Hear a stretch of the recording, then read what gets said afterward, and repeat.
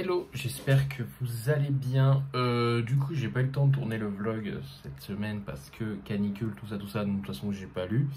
C'est la dernière fois que j'ai ma tignasse parce que je vais chez le coiffeur demain. Euh, mais je me dis que je vais vous la tourner maintenant. Comme ça, je peux vite fait euh, la mettre sur le Mac, la monter, enfin mettre le, générique en gros, et vous l'uploader. Comme ça, vous l'aurez demain matin. Qu'est-ce que je voulais vous dire? Oui, donc du coup, ça va être ma palle pour euh, le mois de septembre. Voilà, donc euh, je vous retrouve tout de suite.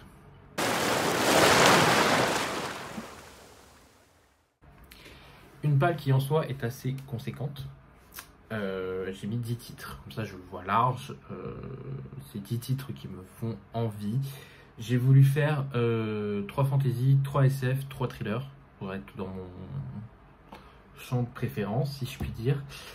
Euh, et en fait, pour le dixième titre, euh, j'ai fait voter les gens sur Insta sur trois bouquins.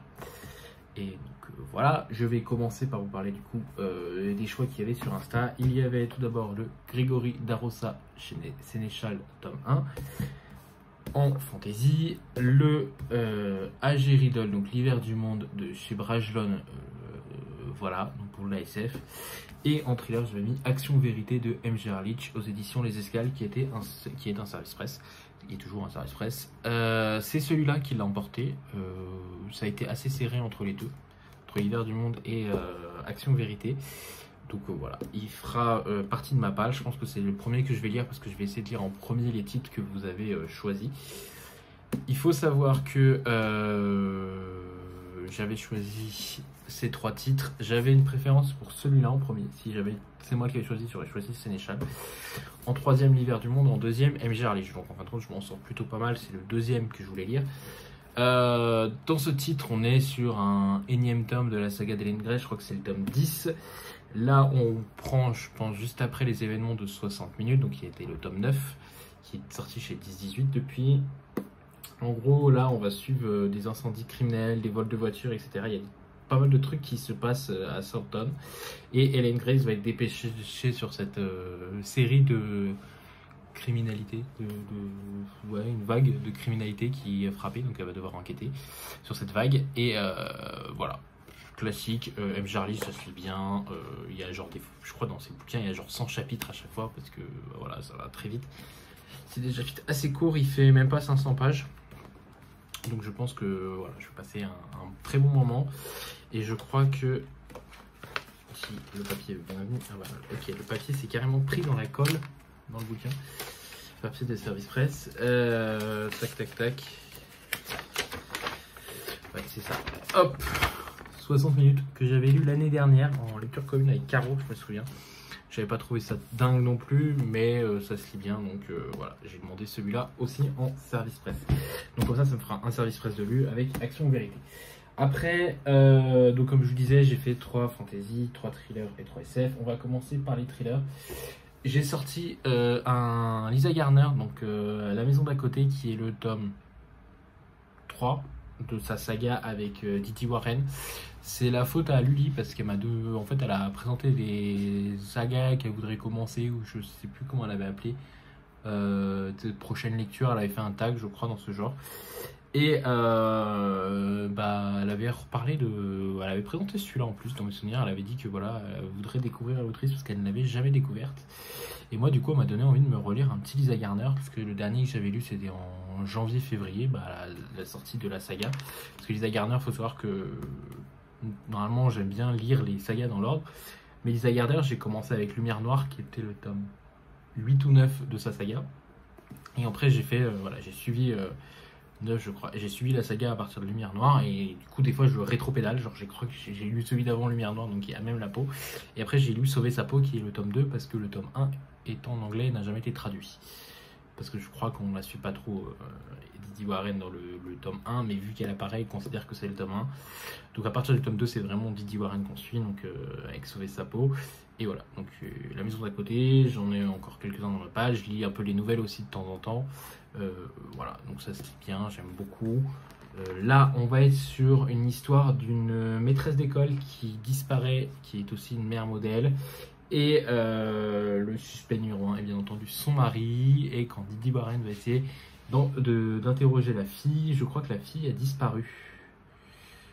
Il n'y a pas une histoire comme ça? Non, c'est sa petite fille de 4 ans. Le suspect numéro 1, c'est son mari Jason. Et en fait, il brouille les pistes où il essaie de protéger sa fille. On sait pas trop. Donc euh, voilà, à voir ce que ça donnera. Euh, Didier Warren, ça se lit bien aussi. J'aime beaucoup. Peut-être que je me le ferai sur fin septembre. Ça peut, euh, ça peut se lire classiquement. Ensuite, c'est très drôle parce que j'ai mis Nuit de Bernard Minier, donc qui est le quatrième tome de Servaz, parce que je pensais avoir le temps de terminer le tome 3, mais bon, si j'ai pas le temps, euh, je le lirai pas nuit, mais bon. J'espère vraiment trouver le temps de pouvoir lire euh, le troisième tome que j'ai là à côté, là, il est dans ma palle de, du mois d'août, n'éteint pas la lumière. Donc voilà, on a eu une bonne partie déjà, mais euh, enfin écoutez une bonne partie, je vais peut-être le continuer en audio, peut-être que celui-là aussi je le ferai en audio. Euh, mais euh, j'aimerais le finir fin d'ici fin août pour pouvoir enchaîner sur Nuit, voilà, de Bernard Minier. Donc là, on retrouve l'inspecteur Servaz, tac tac tac, avec une inspectrice norvégienne qui a sur le qui enquête sur le meurtre d'une technicienne de la, de la base offshore. Voilà.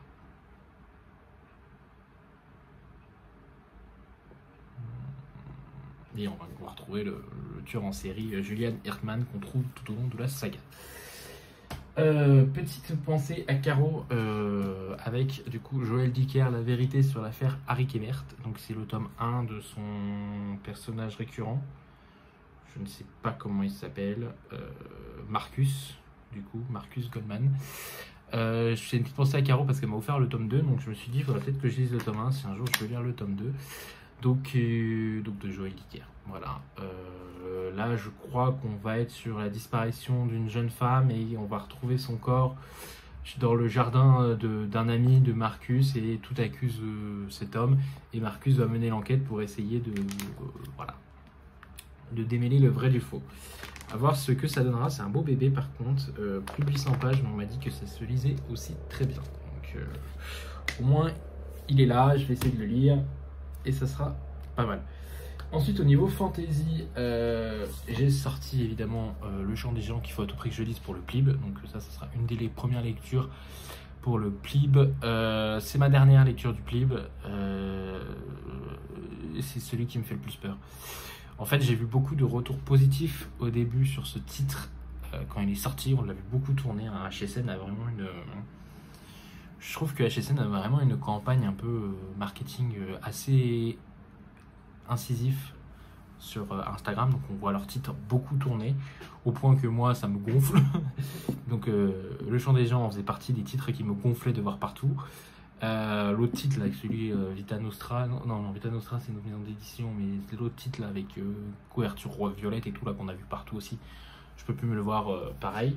Mais voilà, donc celui-là, il faut que je le lise pour le plib. Et comme je disais, j'avais vu beaucoup de chroniques positives, au, moment de sa sortie. Ce qui est souvent le, truc, hein, c'est que les chroniques positives, vous en voyez beaucoup pendant le mois de sortie. Et après, j'ai vu que le PIB avait organisé une lecture commune et j'ai vu beaucoup de retours négatifs euh, sur ce titre. Donc je ne sais pas trop, euh, il me fait peur que ça soit onirique, etc. Je sais que Luli l'a lu et elle a beaucoup apprécié. Je crois qu'aussi Laetitia du, compte euh, Le Coin Lecture de Galaï a aussi beaucoup aimé. Donc à voir ce que ça donnera. Je vais me laisser tenter. je vais sûrement le lire pendant ma semaine de congé parce que euh, il faut que je puisse le lire et voter euh, avant la fin euh, du clip. Voilà.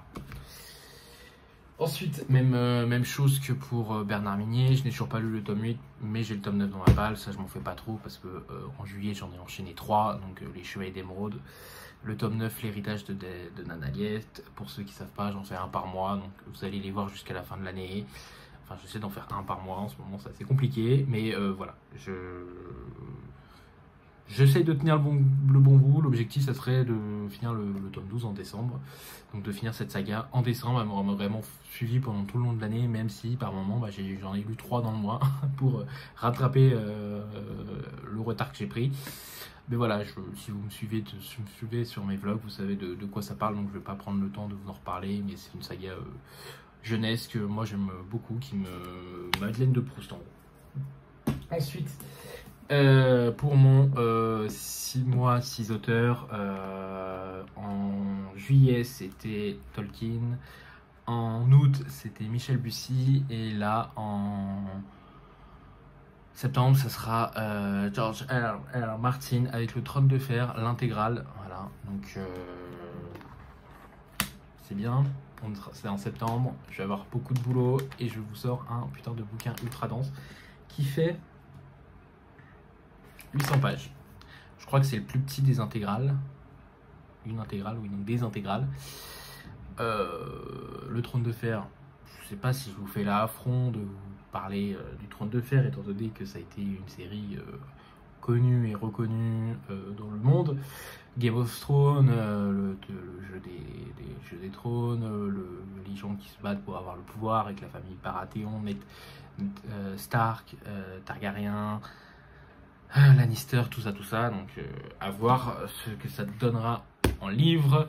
J'ai vu la série, je la connais assez bien. Évidemment, comme tout le monde, j'ai détesté les dernières saisons. J'apprécie beaucoup les premières saisons, donc euh, à voir ce que ça donnera. Le truc qui me gêne, c'est que je crois qu'on suit que le point de vue des Stark.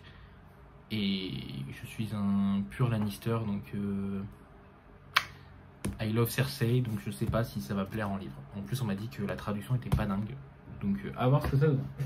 Et ensuite, euh, on va partir sur de la SF. Euh, j'avoue que sur la SF, les deux titres que j'ai choisis, mis à part celui-là, qui est de Marie Liu, le Skyhunter L'arme secrète chez De Saxus, que je vais lire en lecture commune avec Lully.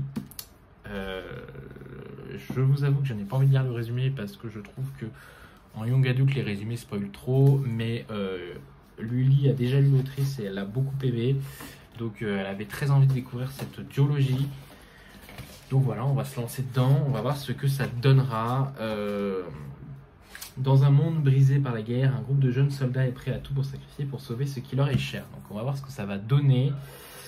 Euh, voilà, donc c'est de la SF. Euh, j'ai vu des retours assez positifs aussi sur cette saga, donc à voir ce que ça donnera dans Sky Hunter. Et ensuite, les deux autres titres, je les ai, pour tout vous avouer, je les ai pas choisis moi-même. j'ai laissé Livradicte faire des livres au hasard et quand c'était de la SF, les premiers titres de je les notais. Euh, Anne euh, Lecky, donc euh, La justice de l'enseignant, le tome 1 des chroniques du Ratch. c'est chez J'ai lu et ça a eu le prix Hugo Nebula et Locus. Je ne sais même pas de quoi ça parle. Comme je dis, j'ai laissé Livradic le faire. Je crois que c'était lui qui m'en avait un peu parlé, qu'elle l'avait dans sa palle et qu'elle avait très envie de le découvrir. Et je l'avais mis dans une wishlist et c'est ma maman qui me l'avait offert pour euh, Noël, euh, pas ce Noël là, mais Noël d'avant encore. Donc voilà, donc il est là et je vais essayer de le lire. Je crois que c'est une trilogie ou une quadrilogie. Enfin, quadru, tétra, euh, faites ce que vous voulez. Je crois que c'est une trilogie, oui, parce qu'ils mettent les deux bouquins là. Donc à voir, si ça me plaît, peut-être que je continuerai. Donc voilà, on va se laisser tenter par ce titre. Hop vous avez pu me voir avec la pile de livres. Hop, je décale tout ça. Voilà. Et ensuite, euh, j'ai pris le euh, Tom Zetterlich, donc Terminus chez Albert Michel Imaginaire. Euh, c'est un vieux service presse, je, l'avoue, il traînait dans ma palle. Je sais que Caro l'a beaucoup aimé. Moi, ce qui m'a beaucoup freiné sur Tom Zetterlich, c'est que j'avais lu Demain et le jour d'après que je n'avais pas du tout aimé. Et je ne sais pas si Terminus va le faire. Euh, là, dans mes souvenirs, on sait la, date de la fin du monde euh, avec un projet ultra secret euh, du FBI, je suppose, ou de la CIA. Et le truc, c'est qu'on se rend compte que bah, en fait, la fin du monde a été programmée, genre, je sais pas, en 2199, et depuis, elle se rapproche. Donc, on va demander à une inspectrice, c'est ça, Shannon Moss, d'enquêter sur pourquoi euh, cette date se rapproche. À voir ce que ça donnera. Voilà, c'est un, un, beau bébé de 430 pages. Donc, euh, à voir ce que ça donnera. Voilà, c'est mes 10 titres. Je vous les remontre. Euh, Terminus de Tom Zetterlich. Les, la justice de l'ancilière de Anne Leakey. Le Sky Hunter, l'arme secrète. Le Trône de Fer de George Martin, Les Chevaliers d'Émeraude, Le Chant des Géants, le, euh, La vérité sur l'affaire Harry Québec de Joël Duquer, le Bernard Minier Nuit, Lisa Garner, La maison d'à côté et Action ou Vérité de MJ Harlich. Voilà, c'est ma palle de 10 titres. Je ne lirai sûrement pas ces 10 titres. Même si en a certains que je vais faire en audio, je pense que je n'aurai pas le temps de lire ces 10 titres. Je pense que je vais lire Action ou Vérité, euh, Le Chant des Géants. Je vous dis vraiment ceux en sûr que je pense que je vais lire le Sky Hunter. Donc là, ça en fait au moins un de 3 de chaque. Et je pense le trône de fer. Je pars sur ces 4 là que j'aimerais finir. Les autres, ça sera du bonus, vraiment. Mais si je, pouvais les, si je peux les lire, si je peux les sortir, ça sera génialissime.